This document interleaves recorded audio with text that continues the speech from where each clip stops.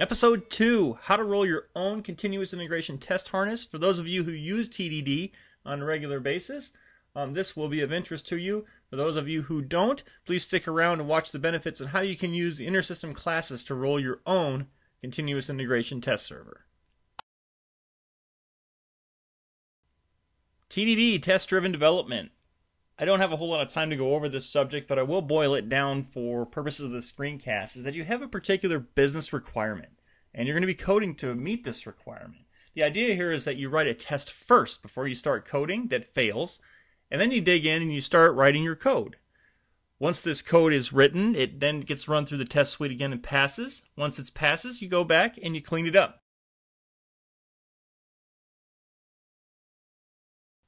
Okay, so I can assure myself that I have not lost a whole bunch of folks already. I want to reiterate what I'm doing. I'm going to be testing something. That something is a particular data transform that meets a business requirement, which is right here.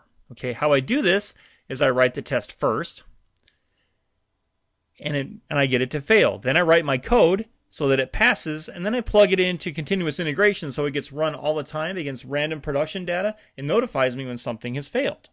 So back to the very beginning of it, we're going to be writing a test. In this case, we're going to be writing a failing test. And how we do this is we extend unit test.testcase.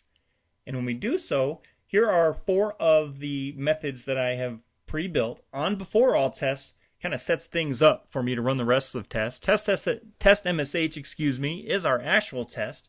Get random message is a helper class to grab a random message out of our message class and source is just a property. And here I said, hey, grab a random message out of episode 2 inbound on our production.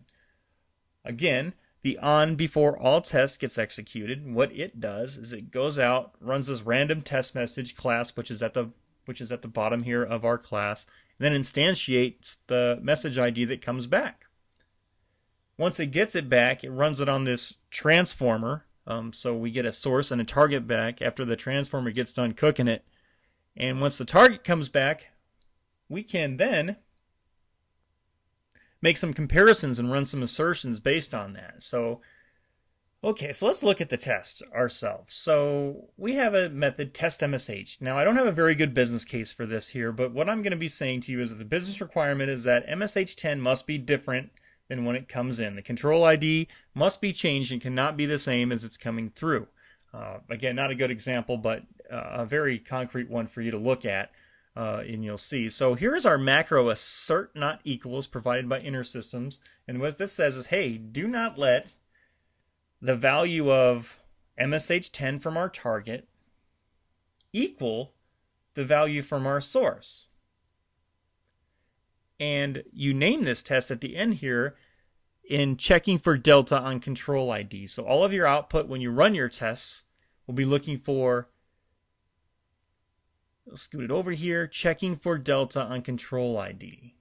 So that is the basis of a test. It's not a very good one again, but you you will see it being executed and, and start to understand that this here is what we're really after is we're checking for a delta on the control ID.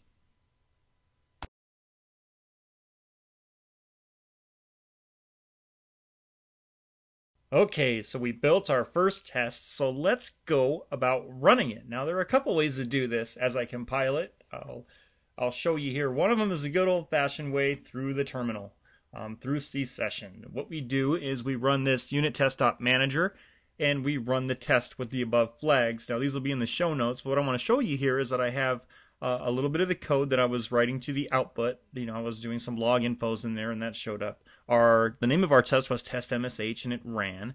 Um, the, our assertion that ran was assert not equals. And here's that text that I was emphasizing once or twice in the last part there was uh, checking for delta on control ID, and it, it's showing here that we are a failure. Now, this isn't uh, too bad since we're using TDD, and it's okay to fail um, at least the first, second, third time because uh, we're going to circle back and, and fix this later on in this episode. But that's one way to run it. The second way is to do this is through the debugger. And how you do this is you set as debug target of, and I went ahead and pasted uh, what I wrote in there before, and I'll go back, back, back uh, like Chris Berman. And once I get back to show you that I'm just running that class, I will set that as my debug target and now I will run it.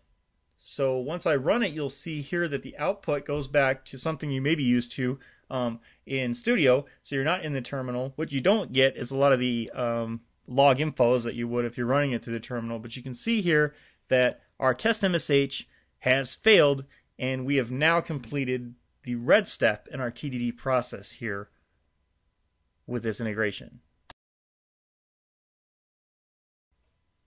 Okay, so let's go green with our TDD development cycle. Okay, so we had a failing test.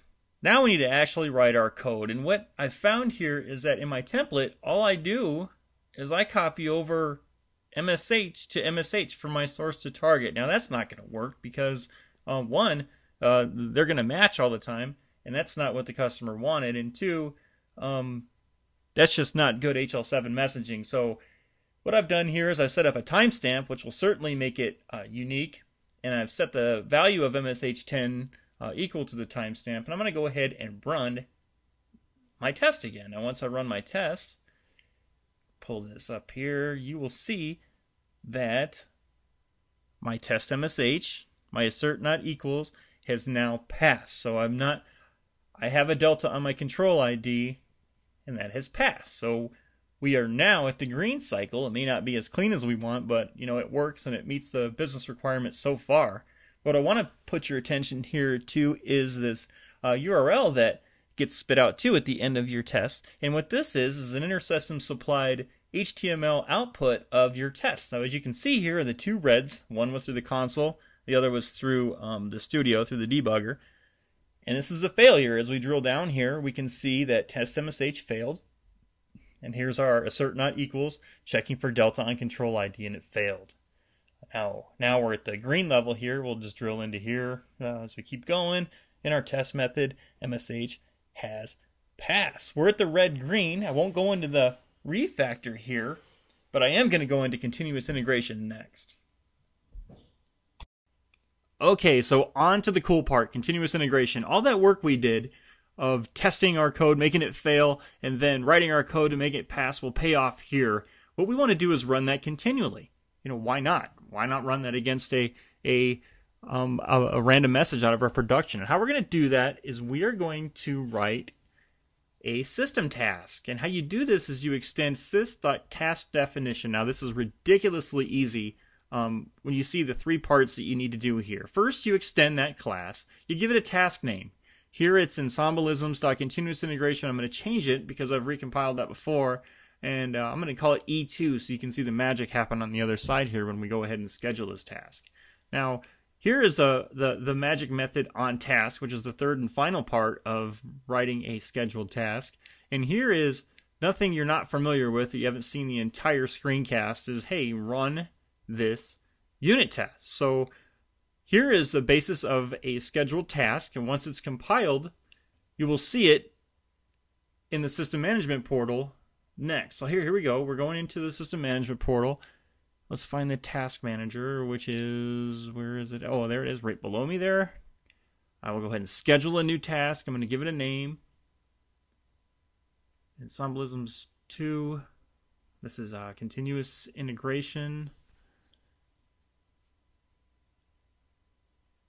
And in the namespace, I'd like to run it in was when we compiled it was ensemblisms. And once we select that, here are all of the task types that were compiled under that namespace. And here's E2, the one we were just dealing with. So let's select that. And we're going to hit next. And that's it. I want to run this, oh, I don't know, once every minute. So I don't know, aggressive, not aggressive enough, you tell me. But here it is scheduled. And our continuous integration task will now run continually and test against a random message in our environment uh, based on anything in our unit test. So that's pretty cool. So let's go back to our, our, our unit test report and it's running here. As you can see, we've got three tests here and all of them have passed because we haven't changed anything in the code. Now let's see, let's 22901. Let's race this and see if we can get the test to fail. Go back into our DTL, Let's back out this change that we did and just copy MSH back to MSH, recompile, and let's go back and see if we've beat it. Probably not. It was probably about 10 seconds there. Um, but let's go over here to our scheduler. Let's run it ad hoc again so you can see it fail. And as you go back into the test report, there it is, it has failed. So extremely powerful uh, in maintaining a constantly changing environment to where you can run these tests all the time and test against production data and you become extremely resilient to change. Thank you. That's our episode. For a front to back testing framework for Ensemble, check out West Michigan's resident Agile Evangelist Atomic Object. Links to AO resources are available in the show notes, so don't hesitate to check them out.